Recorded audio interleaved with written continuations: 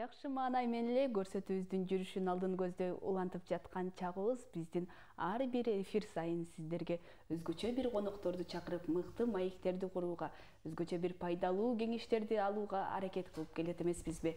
Негизи эле кыргыз айымдары ар дайым жол баштаган үлгү көрсөткөн кайраттуу бир даанышман келет эмеспи мына ошол бүгүн дагы биздин студиябызда чүй облусунун аялдар кеңешинин төрайымы олтурган чагы бүгүн дагы өзгөчө бир өзүнүн мыкты кеп кеңештери менен баарыбызга жакшы бир маек берет деген үмүттөбүз тааныштырып өтө турган болсом гүлжан байбосунова эжекебиз атап өткөндөй эле чүй облусунун аялдар кеңешинин төрайымы бүгүн бизде конокто.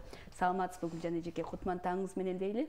Рахмат. Баарыңыздарга кутман таң. Маанайларыңыз жакшы жакшы келип калдыңыз маанайыбыз эң сонун э, кеп башында эле ушул чүй облусунун аялдар кеңеши деп калбадыкпы э, эң эле алгач ушул аялдар кеңеши тууралуу кененирээк маалымат албайлыбы кандай жумуштарды аткарасыздар эмнелер менен алектенесиздер деген сыяктуу.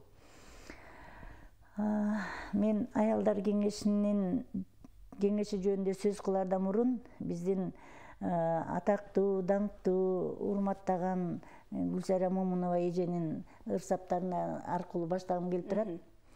Аял колу жардын колу сүйүктүү көңүл назы маңдайынан сылаган аял колу эне колу күйүмдүү мээри менен жаның балкып чыргаган.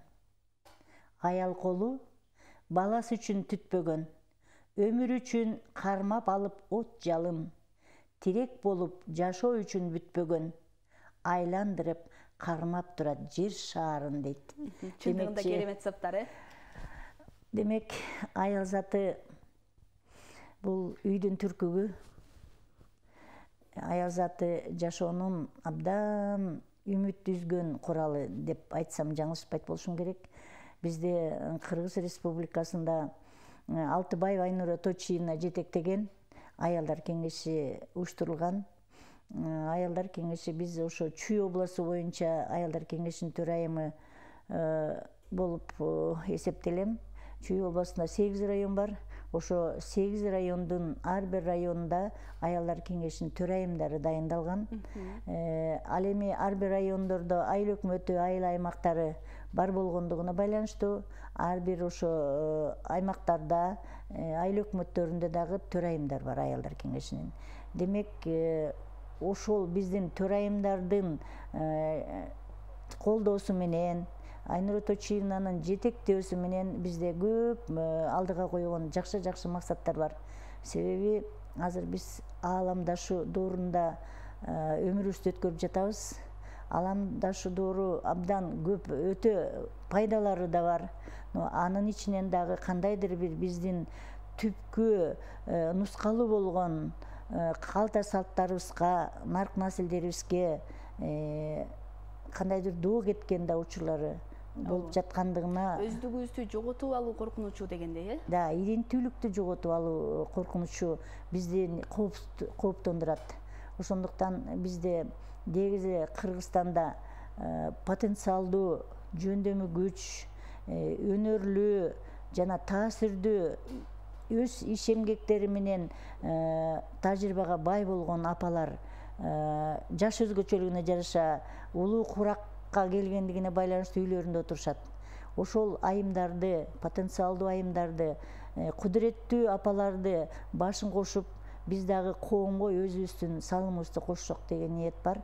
Себеби бизде мамлекетте күн санап жыл санап Э, ар кандай жакшы мазмундуу керектүү талапка ылайык болгон мыйзамдар э, кодекстер жаралып жатат. Ошолорду ишке ашырыш үчүн атайын жооптуу кызматчылар бар. Бирок жооптуу кызматчылардын милдети элге э, сунуштоо аларга талаптарын коюп берүү.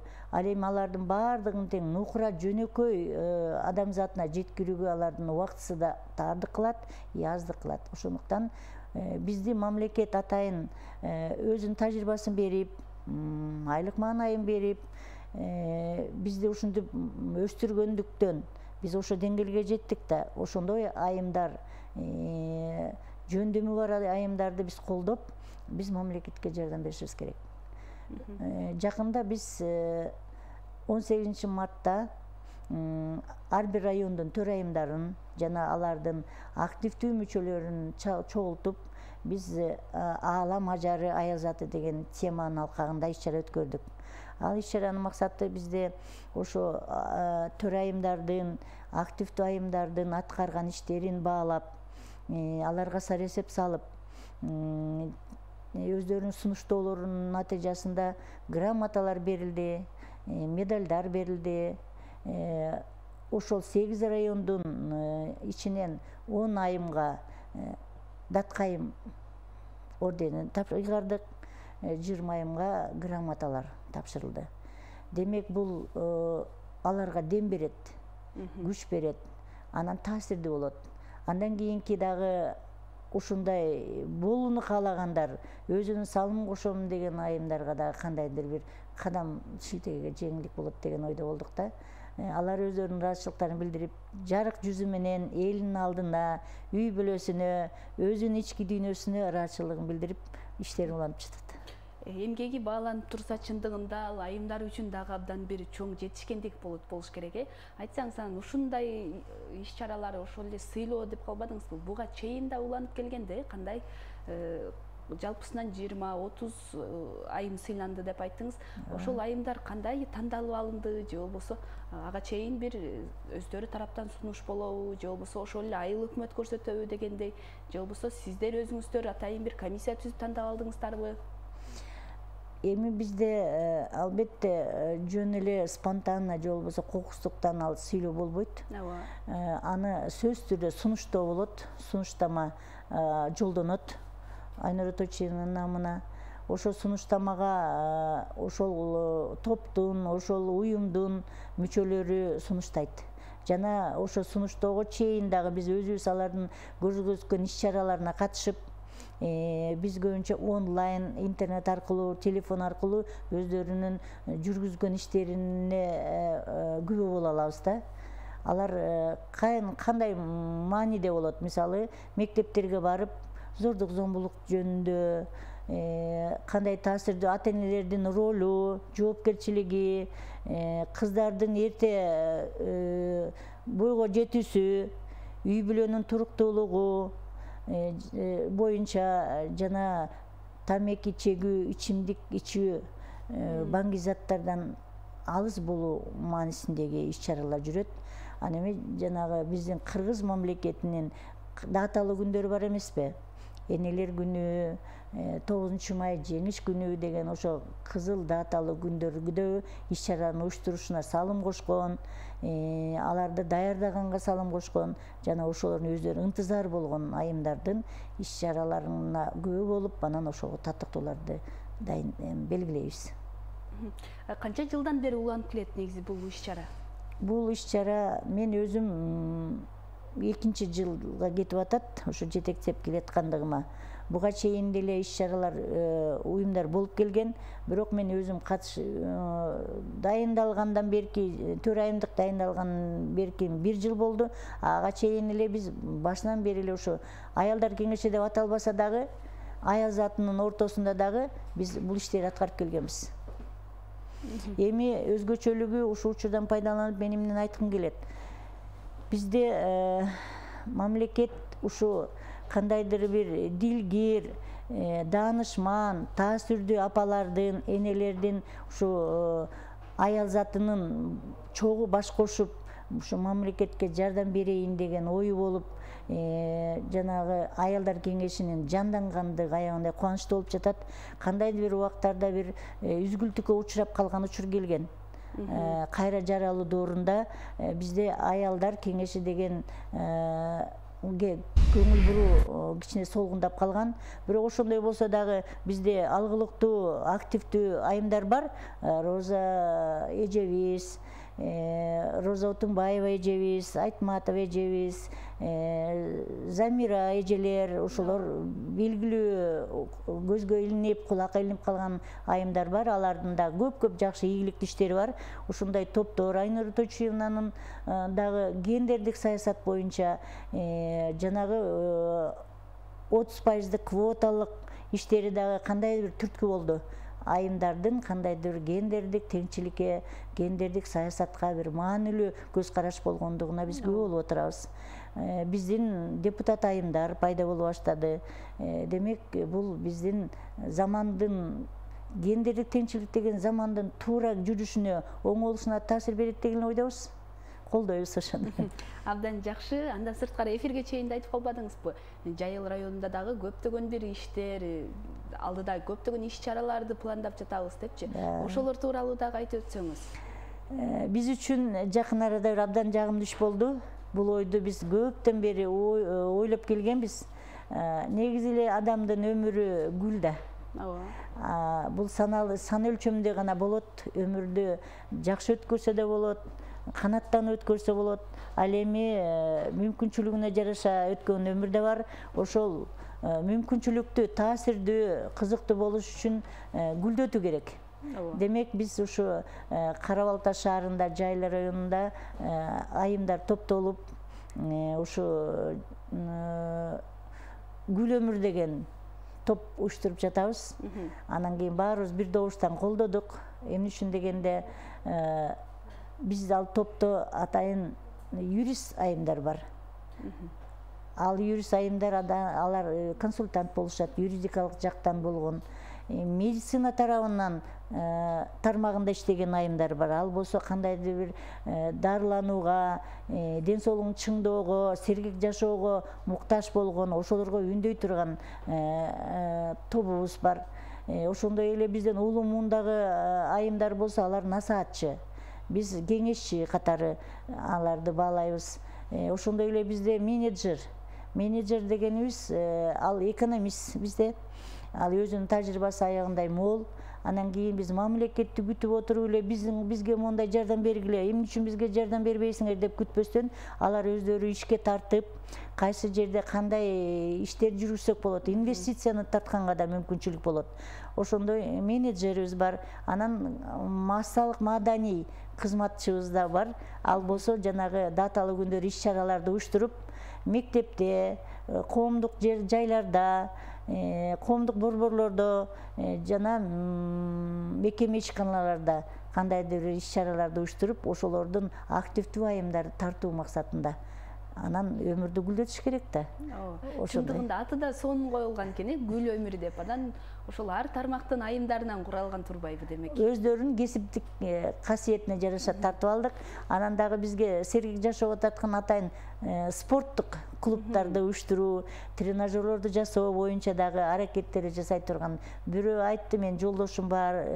сварщик дейт ал өзүнүн кандайдыр бир курал жарактарын сатып албай эле жөн эле. Элементардык жөнөкөй адамдарды айымдарды колдонгонго болгон мүмкүнчүлүктөрүн тартуу боюнча анан өзгөчө бизде жанагы майып балдар бар эмеспи ошо майып балдарга дагы көңүл буруу дегенибиз өзгөчө көңүл бурулду.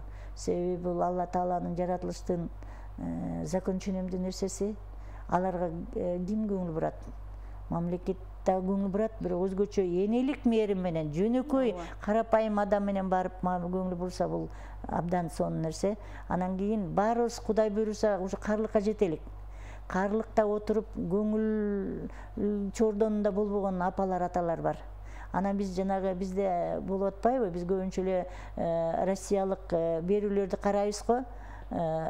Кокустуктан күтүүсүз барган чараларда ошондой биз бала бакыралар менен барып сүйлөшүп бүгүн сиздин апаңардын атаңардын ушу эмгегин баалаган учур келген экен биз келелик деди элек ошону кандай форматта өткөрсөк деп алар менен сүйлөшүп анан кийин бизден кандайдыр бир делегаттар барып өкүлдөр барып анын көңүлүн көтөрүп келет. ошондой деген ниет бар да. Абдан сонун абдан сонун нерселерди пландап аткан экенсиздер жана башында айтып өткөндөй эле көптөгөн иш чараларда дагы мыкты деңгээлде ошол эле майрамдык кечелери дагы өткөрүп келесиздер. Анан буга чейин дагы апалардын башын бириктирип өзгөчө бир концерттик программалар дагы өткөрүп апалардын майрамына карата дагы жакшы бир иш чараларды өткөрдүңүздөр эле. Ошол нерселер быйыл дагы уланса керек э? Биз жыйырма биринчи жылы биздин эң алгачкы ошо жыйыныбыз бир миң бир жүз айымды улуттук филармонияга чакырып концертке чакыруу болду биз ошо учурдан пайдаланып мен ошо жетекчилерге ыраазычылыгымды билдирип кетем. Ошо биздин үндөбүздү колдоп өз айымдарды алып келип жеткирип өздөрүнүн өкүлдөрүнүн айымдарын ошо татыктуу же болбосо өздөрү ошол бара турганга ылайыктуу деген апаларды алып келип филармонияга алып келип көрсөтүп кеттик. Анан ошондо сексендеги апа келип өзүнүн ыраазычылыгын айтып айтат мен ушу сексенде эмес ошол жерде отуруп элүү жаштагы жаш куракка келдим дейт себеби ошол убакта өзүн уккан ырларын энелик мээримин көз жашын төккөн апалар да болду сүйүнүчтөн себеби баягы куралдарын энелик ырларды жаш кезинде уккан ырларды угуп аябын ыраазы болуп кетишти бул дагы биз үчүн эң чоң сыйлык баа деп билебиз ошентип айымдардын башы биригип бири бири менен пикир алышуусу эле бир өзгөчө айымдарга жакшы нерсени тартуулайт болуш керек э албетте биз дагы жалаң эле ошо чүй областы эмес жалпы республикалык аялдар кеңешинин төрайымдары болуп дагы биз тамеки тартуу ичимдик ичүү жана алкоголь анан кийин табактарга зыян экендиги боюнча форумдар болду бизде студенттерди камтыган жалпы ошо бизде бүткүл дүйнөлүк ден соолукту чыңдоо боюнча айнура турчинина медаль алып келди а бул дагы бир чоң жакшы нерсе себеби бизде азыр өзгөчө майып балдар кайдан төрөлүп жатат? Ушу кичинекей түйүлдүк болгон эне өзү тамеки тартып атса баланын ден соолугу кандай болот а себеби мектептеги жаш кыздар билбейт анын зыяндуулугун ал бир өзүнчө бир үрп адат салт же болбосо бир мода деп эсептешет да. Ал эми ошол мода да эмес экендигин толук түшүндүрүү үчүн эне жанында отуруп ар бир үйдөгү эне э, түшүндүрүш керек. А эне өзү ошого татыктуу болуш керек баланы тарбиялоодон мурун демек биз бул жерде мен дагы ойлойм да ушу жаш энелерди дагы татыктуу эне болууга тарбиялаш керек. Демек ошол татыктуу эне болууга тарбиялоо үчүн дагы бүгүнкү күндө жаш ата энелер менен да бирдикте иш алып барасыздар демек э? Бизде жакында дагы э, жакшы энелер мектеби деген жакшы бир окутуу үйрөтүү болуп атат да биз ошону абдан колдойбуз. Көбүнчө ошо энелер мектебине тартылган жаштар көп болуш керек себеби бул эми өзүнүн дароо жемишин бербейт бирок менин оюмча акырында туруп деги эле жалпы мамлекет ушу энелердин таасирине энелердин тарбиясына нарк наслине каада салтына үрп адатына терең көңүл бура баштады өзгөчө биздин мамлекеттик катчынын пайда болушу биз үчүн бир жаңы жаралуу деп ойлойм бул доордо дагы жаңы жаралуу себеби мен ушун ички дүйнөм менен жалпы энелер жалаң эле мен эмес ушундай келечектин үмүт эткен энелердин баардыгы күткөн ушундай катчы болушун. Эми катчы дебейли катчы болбосо да кандайдыр бир идеологияны күткөнбүз себеби э, бул абдан таасирдүү. Мисалы мыйзам албетте болуш керек мыйзамдан да жогору турган каада салт нарк наслдер бар эмеспи кыргыздын өзүнүн жазылбаган мыйзамдары бар эмеспи ооба да. Себеби биз мисалы манаста берилген таалим тарбияны нарк наслди кантип өчүрө алабыз? Аны ташка тамга баскандай өчүрүүгө болбойт. Ал эми мыйзамды болсо өзгөртүүгө болот. Убакытка жараша. Мисалы өзгөчө кырдаал болуп калабы же кандай кырдаалдар болобу ошол убакта өзгөртүүгө болот ал эми нарк насилди каада салтты өзгөртүүгө болбойт ошондуктан ошону биз аялдар кеңеши төкпөй чачпай жаңылантып пайдалуу жагын э, инновациялык жаңы жактарын алып кийинки муунга жакшынакай кылып өткөрүп берсек алар өзүнүкүн кошсо албетте биздин мамлекеттүүлүгүбүз бекем терең болот пайдубалын эч качан убузууга болбойт да. Ошондуктан мен жалпы аял затын энелерди чакырып кетким келет. Ошо биздин нарк наслди каада салтты үрп адаттарды дагы төкпөй чачпай мөлтүрөгөн булактай кылып алып барсак өткөрүп берип э? Ооба да. Анан деги эле бир алдыга пландарды койдуңуздар болуш керек э? Ошол эле э, аялдар кеңеши менен бирдикте же болбосо жаңы түзүлүп жаткан гүл өмүр менен бирдикте негизи кандай иштер күтүп турат алдыда? Бизде э, иштер албетте күтүп турат ошо иштерди дагы кандайдыр бир алдынан ары улаганга мамлекеттин дагы баары бир кандайдыр колдоосу керек себеби бул аял затынын же болбосо аялдар кеңешинин каржылоосу жок баягы эле өзүнүн ички тажрыйбалык потенциалы жөндөмү каалоосу гана болуп атпайбы. Ал эми ошо аял затын башын кошуп бир жерде отуруп сүйлөшүп баарлашып отурганга мүмкүнчүлүк болгон бир кичинекей жай керек анан ошол жерде отуруп алар бир жерге бара турганын э, баардык нерсе тартипте да. Ошо бул айдын бул күнүндө чогулабыз. Анан кийин ошолдо бул темада чогулабыз. Андан кийин тиги бул кандай бул маселени көтөрөлүк. Анан жыйынтыгы кандай болот? Ошо жыйынтыгына жеткен жетиш үчүн эмне кандай таасирлер болду? Анан жалаң эле аялдар кеңеши эмес дагы таасирдүү мамлекеттик кызматчылар алар мыйзам чегинде толукташат да тастыкташат ошондуктан ошонун баардыгын эр шаркак иштеш керек деген максатты койдук да. Аялдар кеңешибизде дебестен жалпы мамлекет менен кошо эр шаркак болуп биргеликте иштейлик деген максат бар.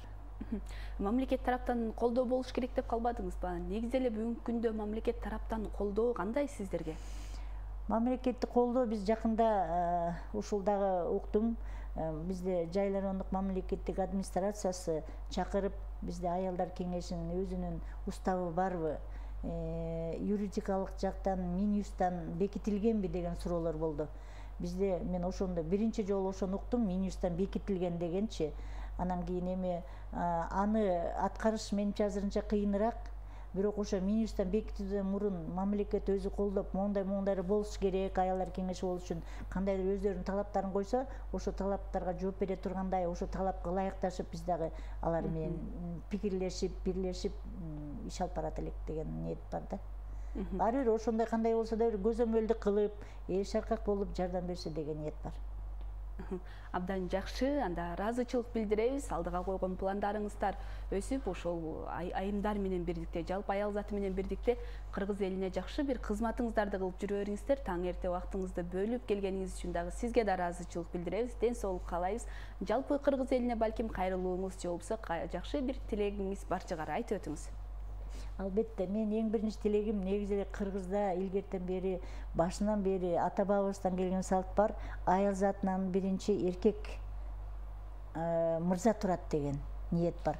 Мен ушуга терең басым келтиргим келет себеби бала кичинекей кезинен түйүлдүк болгондо медициналык жардам көрсөтүүчү гинеколог аял заты бала бакчага барганда тарбиячы аял заты мектепке барганда аял заты мугалим эже ал эми окуу жайына барганда да мугалим эже демек ошолорду да эр шаркак болуп биз мырзаларды жаныбызга эркек деген кандай эр болуш керек аркабызда керек деген сөз да аял деген муну аяп мээримин чачып турса биз аял заты дайыма колдойбуз демек мен айткым келет дүйнө турса сулуулукту аярлап сулуулукту сактап берет аял зат дегендей биз сулуулукту сактап гүлдөтүп өркүндөтүп өмүрүбүздү кызыктуу өткөрөлүк деп деген сунушту айткым келет ийгилик каалайм өмүрүңөр гүлдөп өсүп өнүгө берсин чындыгында бүгүнкү күндүн өзгөчө бир сөздөрү болду деп айтсак э, жаңылышпайбыз. Сизге дагы дагы бир ирет ыраазычылык билдиребиз.